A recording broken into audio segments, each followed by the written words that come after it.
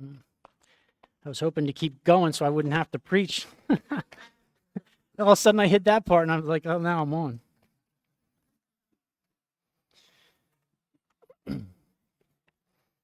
We've been going through the book of Genesis in a series called An Eternal Family Life. And we heard at the beginning of the series how vital Genesis is because God lays down the foundation blocks to our faith. If you miss Genesis, the Old Testament will only be law to you, and you miss the meaning. If you miss the Old Testament, your life of faith will have diminished power. Jesus said that the scriptures point to him. Therefore, the books of the Old Testament are crucial to fully knowing Jesus Christ. You must learn, you must also learn your place within the family and to love the things that God loves. Therefore, we must look into these stories, not just read them, to understand their importance, as well as to pull out of them what's needed for our own faith development. So let's start by reviewing where we've been. At the start of the Abraham story, we saw that God was narrowing the scope of his work to this one man and his barren wife to produce the offspring of God's eternal family. By using the couple, God was demonstrating his power. The birth of Isaac set the record straight. The only explanation for Isaac is God himself. Isaac is truly a miracle child. Next, we saw in the sacrifice of Isaac the provision of God that God didn't perform a single miracle through the birth of Isaac. God is working through this family to accomplish a much larger plan by preserving it. While the story of with the story of Rebekah, Isaac's wife, we find the providential work of God. But what also begins to emerge is a new pattern, which is the, that we too play a role in the unfolding uh, work of God. Like what cement, this new way of following God has to be laid into its form and to be given time to harden. With the miraculous birth and mysterious redemption of Isaac, God showed himself true to his word in the big events which only a God could do. The question now is to what extent will this God be involved in the smaller details of his children's lives? Does he really care for questions about how we live and who we live with? The answer is yes. And the pattern for us to follow is that of waiting. And the work that we are to do is to believe by trusting in God. Now, if we put these three aspects together power, provision, and providence we see a commonality that's very similar to all religions. In fact, we would characterize this as a way of, uh, as a religious life. The pattern and work in a religious life, however, is to be good and to do good in order to gain reward. While that's not while that's not what we've been seeing in the life of those who walk with God and thus far with Abraham, we want to see how very closely these two ways of life are from a human perspective. The covenant God of Abraham will demand faith and trust and acts of obedience. The norms and behaviors of the people of the Bible look very similar to all other major religions of the world from a human perspective. And yet, as we will see in the story of Jacob, while the forms look familiar, the approach to this God of Abraham is radically different, and therefore will bring with it a radically different outcomes for those who get it. Grace precedes obedience in the life of those who live for God. So, as we turn now to the story of Jacob, we will see that this God is now going to accelerate the progeny or growth of his family through Jacob's offspring. Progeny, that's my P word, okay? The best I could do. It will soon be this family and ultimately the people from this family that will become a nation which God will continue his work to build his eternal family. While we see human biological growth in the narrative, we also, more importantly, are going to see a kind of inward growth starting to develop within its members. We need to focus on this change because it will not only become the key to understand this transformation process, but also to receiving the power to follow this God through the pain and hardship of life. What God intends for good will be a slow, progressive, life learning process in this family and ultimately in the nation of Israel. In fact, it will ultimately be either the rising or falling of every person on the face of the earth. Last week we saw that there seems to be a regression in the, fa- in the faith of Isaac's household. The family seems to be degenerating, not improving in its moral framework. This is important and curious at the same time. Why isn't this family getting more devout, more distinguishable from the families around them? At the same time, this family is blessed and growing. And isn't that what the promise of Abraham declared? So there's a mystery happening here. And that is that the influence directing everything in the life of this family seems to be coming from outside the family, while at the same time working on the inside of the family. The mystery is that this influence seems to have a life of its own, and it's not respondent to the behavior of the family. So, what is it, and what's going on? To answer this, we will be examining the promise that we have been talking about since the story of Abraham. The promise is God's plan for rescuing humanity, and ultimately, it's the blueprint by which a Savior will reconcile back to God the children of God. It operates in a way, however, that serves as the cornerstone to all relationships in the world God to us, us to God, and us to each other. In the New Testament, we call it the gospel. So let's unpack the story of Jacob by understanding three things the promise teaches us in the story. We'll look at the nature of the promise, then the work of the promise, and lastly, we'll look at heaven's true gate. Let me read from the book of Genesis, chapter 28, first. So, Abraham, uh, Jacob's life is characterized by two bookends, two bookend events where uh, he meets God. And that's what we'll focus on today in uh, our two readings. The chapters 28 through 35 that Isaac gave me, it's a lot. Uh, and there's a tremendous amount of good, good stuff in those chapters. I really encourage you this week, maybe include that in your morning time. Uh, just very human and, and wonderful stories, but we can't obviously read everything and we can't go through all the great points here. I wish we could, but that's just not possible. So I'm going to read uh, chapter 28, verses 10 through 22. I think it's up on your screen here. Jacob left Beersheba and went toward Haran. Uh, you remember from last week that uh, Jacob stole the blessing from his brother Esau, and that wasn't a good thing. And so uh, Esau wants to kill Jacob, and to the extent where the family believes that he wants to kill Jacob. Uh, and so uh, mom has to get Jacob out of the house. So, like any good woman, she convinces her husband what the best idea is to do. And so Jacob declares what's, uh, so Isaac declares what's the best idea, which is that Jacob should go to uh, the land of his people in Mesopotamia and find a wife. And he blesses Jacob, there confirming publicly that Jacob is the inheritor of the blessing. So it's a really incredible move on, on Rebecca's part. But sadly, she has to lose her son Jacob. So Jacob's on the run. He's the inheritor, he's the, the one with the promise, and yet he's a fugitive. so we find Jacob uh, really at his first night here. Jacob left Beersheba, that's where the family was living, and went toward Haran. And he came to a certain place and stayed there that night because the sun had set. Taking one of the stones of the place, he put it under his head and lay down, lay down in that place to sleep. And he dreamed, and behold, there was a ladder set up on the earth, and the top of it reached to heaven, and behold, the angels of God were ascending and descending on it. And behold, the Lord stood above it and said, I am the Lord, the God of Abraham, your father, and the God of Isaac. The land on which you lie I will give to you and to your offspring. Your offspring shall be like dust of the earth, and you shall spread abroad to the west and to the east, to the north and to the south. And in you and your offspring shall all the families of the earth be blessed. Behold, I am with you and will keep you wherever you go, and I will bring you back to this land for I will not leave you until I have done for you what I promised. Then Jacob awoke from his sleep and said, Surely the Lord is in this place, and I did not know it. And he was afraid and said, How awesome is this place! This is none other, none other than the house of God, and this is the gate of heaven. So early in the morning, Jacob took the stone that he had put under his head and set it up for a pillar and poured oil on top of it. He called the name of the place Bethel, but the name of the city was Luz at the first. Then Jacob made a vow, saying, If God will be with me and will keep me in this way that I go, and will give me bread to eat and clothing to wear, so that I come again to my father's house in peace, then the Lord shall be my God. And this stone which I have set up for a pillar shall be God's house, and all that you give me, I will give a full tenth to you. So in this story, we see Jacob in a very vulnerable place. Literally, the place where he is is stated six times. It's in the middle of nowhere. Not only that, but he is penniless, homeless, and alone.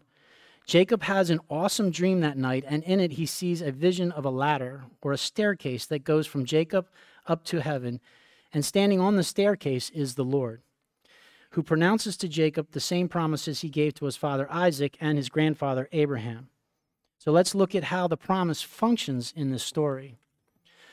First, we see that the promise comes to us from the outside. It's not something that we achieve.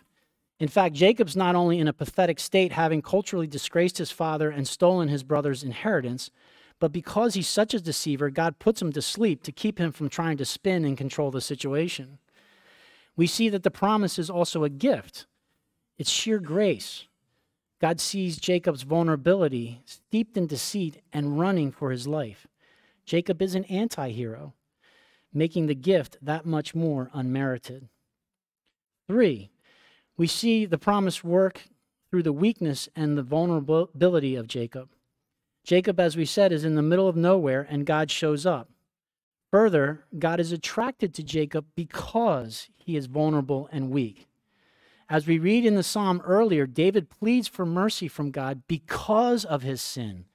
David is hopeless and knows that unless God is willing to accept David as a sinner, then David has no hope. Jacob is not at that place, but he will eventually come to realize the depth of God's love and his commitment to Jacob despite his deceitful behavior. Fourth, it meets us where we are. Look again at Jacob. How's he feeling? He is alone and he's afraid. He is poor and homeless and therefore completely vulnerable. What does God say to him through the promise? Behold, I am with you and will keep you wherever you go. And I will bring you back to this land, for I will not leave you until I have done what I have promised you. Just importantly is what does God not say? Oh, well, well, well, what have we here? Looks like life is finally catching up with you, huh, Jacob? You made your own bed, now you can lie on it until you can demonstrate some respect for your family and for me, etc., etc. Now look at Jacob's response to this glorious promise. If God will keep me, if God will be with me and keep me in this way that I go, and I will get, get bread to eat and clothing to wear so that I come again to my Father's peace, then God will be my God. What's he doing? He's bargaining with God. He's going right back into his default mode of evaluating relationships from his vantage point. This way of negotiation is indicative of religious behavior. Look again at the two approaches here. Look how lovingly and tenderly God meets Jacob. He takes great care in not only how he comes to him, but also in what he says to him.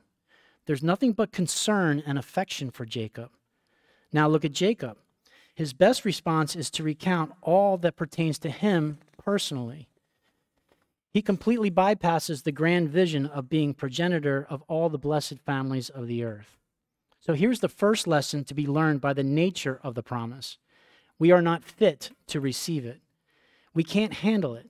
The very nature of it is so beyond our capacity to openly receive its unfiltered and penetrating love.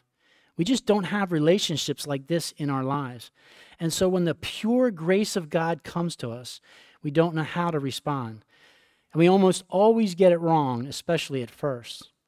We have to grow into that knowledge and to grasp the extent of its true implications, not only for ourselves, but for the world. And now here's the second we see that we, are, uh, that we have to be made fit. How is God going to get Jacob to the place where Jacob himself reverses the order of priority with respect to the kindness and grace of God through what he has just promised? How is he going to get Jacob to see the first that the first things are the first things and the second things are the second things? And the order actually matters if you think about it. So, to summarize, we see that the nature of the promise is that it comes to us from outside. We cannot conjure up uh, its provisions through our own moral performance. In fact, it seems to come in weakness and to those who are most vulnerable. Regardless of how it does come, however, we are not worthy of it. So, it is a gift. We are not fit to receive it, but God gives it to us because we could not only because we could not receive it in any other way. We do not receive it, we have to grow into it, to be made fit to have it work in our lives.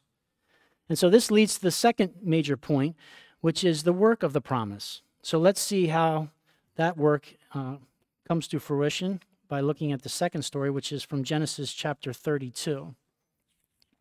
So Jacob's lived a, a pretty complex, well, pretty dysfunctional life.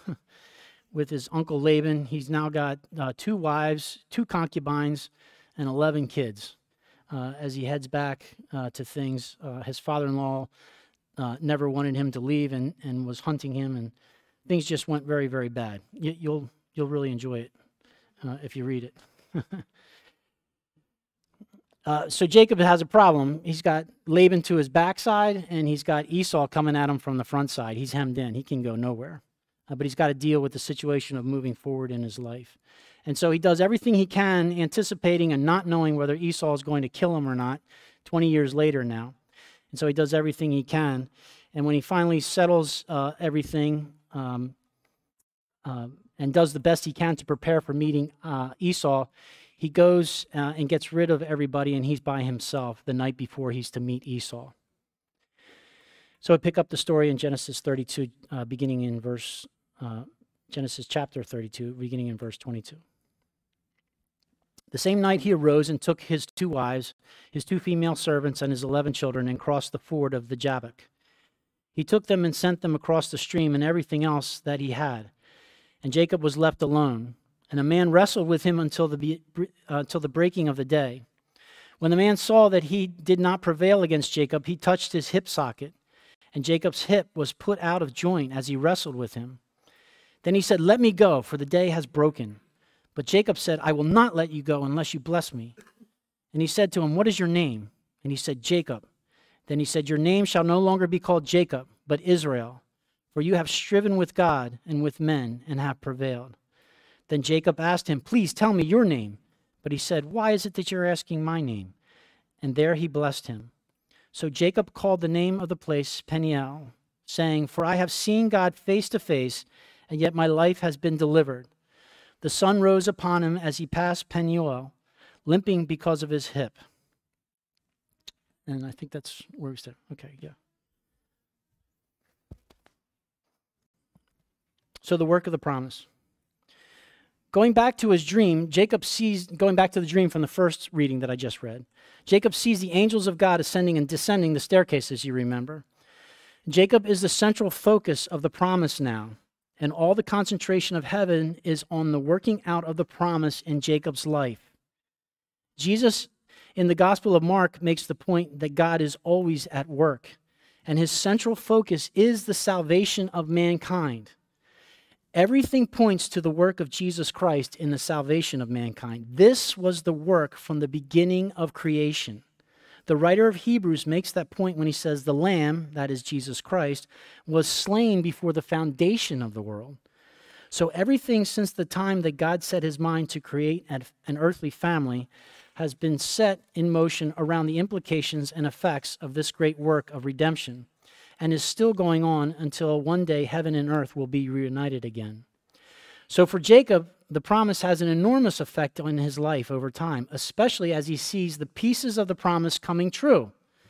He's no longer poor, he's no longer alone, and he's no longer isolated without family or afraid. This then is the first mark of the promise, which is the fulfilling of its content to strengthen us in our faith. Let me say that again. The first mark of the promise or the work of the promise is to strengthen us in our faith by fulfilling what God promises for us. As He does that, we begin to trust in Him and to believe. If the work of God is to make us fit because we are unfit, we see here in the promise that the promise brings Jacob to a place where he's fit to be tied. And this is the second mark of the promise's work, which is to soften us up for God to change us. It breaks us down for the work of God in our life. Jake, Jacob is too unawares to think about what's happening here, so he does what little he can to try and outmaneuver the worst case scenarios before the next day. Yet at the end of it all, as Jacob crosses back into the promised land, he is once again alone, vulnerable, and afraid, just like when he left. When the shadowy figure of a man appears and meets with Jacob, Jacob is, no, is, is in no mood to, to ask questions. He grasps his enemy and does what he does best he wrestles. Though at first Jacob is able to match the man's strength for strength, when Jacob refuses to let the man go at daybreak, the man simply touches Jacob's hip socket and wrenches his hip out of place. It is at this point that Jacob realizes who he is fighting against it's God. Jacob's whole perspective in life has been wrong. God has graciously spared Jacob, though he could easily have put him to death. His life was spared, though he deserved death. And this restraint of power and act of mercy by God causes the very foundations of Jacob's life to crumble. He's no longer the same spiritually or physically. God has been faithful all along, not an enemy. Tim Keller says that this change in a person's life by the work of God from trusting themselves to trusting God, that God almost always has to wound you to show you this, which is a sign of grace. Paul, in his letter to the Corinthians, shares his own struggle of how he prayed to God earnestly three times to be rid of a thorn in his flesh, only to have God show him that it was not a problem to be solved or an obstacle to be overcome, but it was a true strength for his faith and trust in God. It was a sign of grace. It would, uh, it would outwardly manifest itself as a handicap like a perpetual limp, but inwardly it was growing the apostle from glory to glory. Just one second here. Whew. The Jewish scholar Robert Alter, in his commentary on Genesis, makes a more immediate life application regarding this change, which is that he who acts crookedly is bent, permanently lamed by his nameless adversary in order to be made straight before his reunion with Esau. And one last commentator wrote By his wrestling with God, Jacob entered upon a new stage in life. Do you walk with a limp? And lastly, let's look at Heaven's Gate. Jacob announces after his dream of Bethel that this place is where heaven and earth meet. It's the gate of God. Centuries later, Jesus will make a reference to Nathanael that he will see heaven open and the angels of God ascending and descending on the Son of Man. We've come full circle, full circle. I said at the beginning that the fundamental difference between the faith in the between faith in the Bible and religious approach to God is that those who trust in the promises of God recognize over time the uselessness of moral behavior before a holy God as a means to advance gain. With religion, the worshiper approaches God by climbing the staircase to obtain salvation. But the gospel teaches us that salvation comes to us and does so freely. It's not cheap, it comes at a great cost, which is the life of the Son of God who has done the work on our behalf. When Christ says that the angels of God are ascending and descending, he means that literally. He is the stairwell, stairway himself. He was the one to, to live perfectly, to live a perfectly obedient life. He never once wrestled against men or contended against God. And yet it was the will of God to crush him for our sake. He never lied, and in his mouth was no deceit.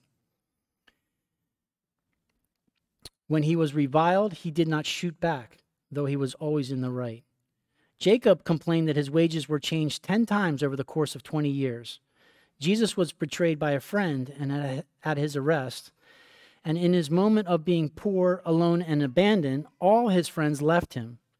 When he pleaded with God to be released from the horror that awaited him, he received no blessing and no word from the Father. Where Jacob received grace, Jesus got silence and received hell in return for his obedience. This is our amazing grace. This is the wonderful outflow of the work of God through his promise to redeem us and bring us back to himself, to save us because of our sin. Because we are poor and helpless, Jesus Christ becomes poor and utterly vulnerable on our behalf, so that we might obtain his riches as sons and daughters of God. Let's pray.